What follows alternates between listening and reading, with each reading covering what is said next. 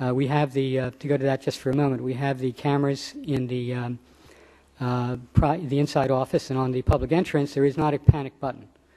And uh, no, no signs have yet been worked out about distress for the camera, I don't think, so.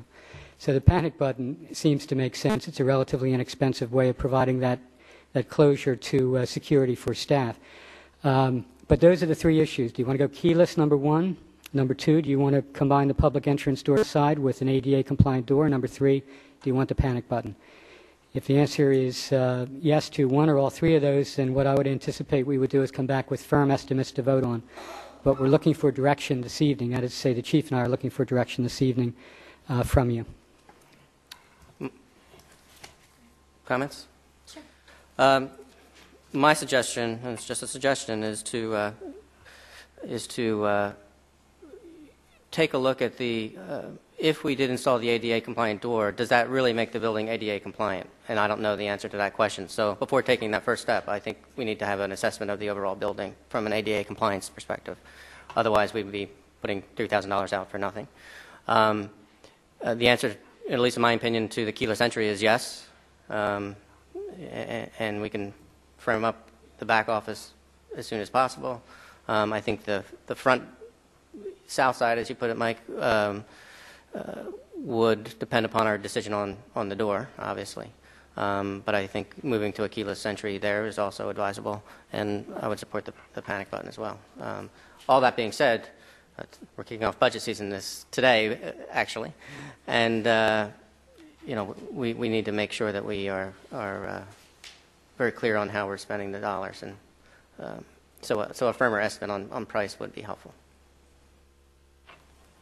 Any other comments? I, I agree essentially with Ger- Gerard. Uh, I think we should go forward with the installation of the locks. I don't think there would likely be a significant price savings by installing an ADA, ADA compliant door now as opposed to later. The locking system can probably be um, removed from the current door to an ADA compliant door when the time comes.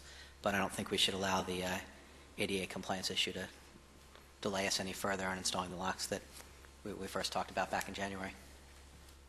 And, and we should, but we should address that, address the ADA issue and the, um, and the cost of compliance promptly as well.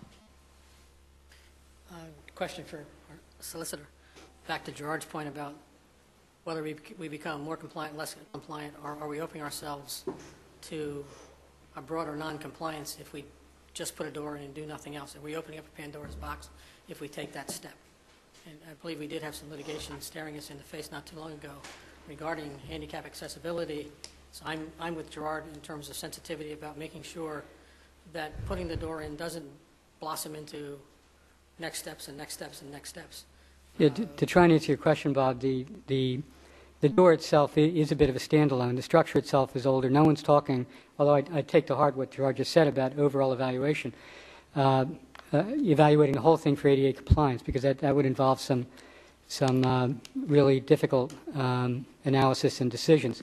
We do a little bit of a luxury, I think, not luxury, but a little bit of simplicity, because that is the one public door which immediately then goes into a hallway, left to council, right to administrative offices. That's the borough. So it's not as though we have a structure with uh, three floors that's uh, 100 years old and we've got stairs and we don't have an elevator and things like that. It's relatively straightforward from the ADA standpoint, and it's for that reason that the chief's uh, uh, suggestion with the locksmith was brought forward tonight, because a right turn takes you immediately to the uh, borough secretary and a left to borough council in a wheelchair. So that's pretty straightforward. And I, again, I take to heart the uh, ADA issues on compliance. I'm not sure that uh, it's advisable, unless you want to, to undertake a complete ADA evaluation of the buildings. We're not suggesting that. We're suggesting only the access. Right.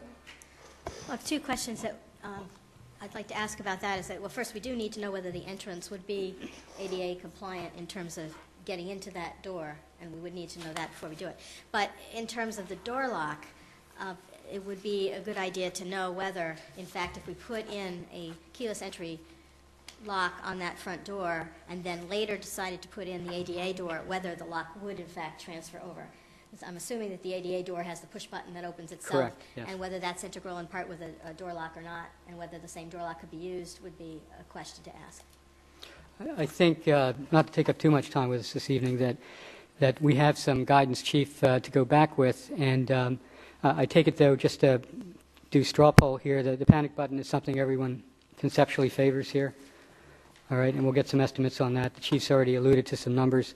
And um, then perhaps we can talk about this at the September work session. Sounds good. Okay. Thank you, Chief. I have a question for Mr. Brown. Brought up the budget, sir. Can I get matching funds for this from the borough in the new budget? We'll look into it, Chief.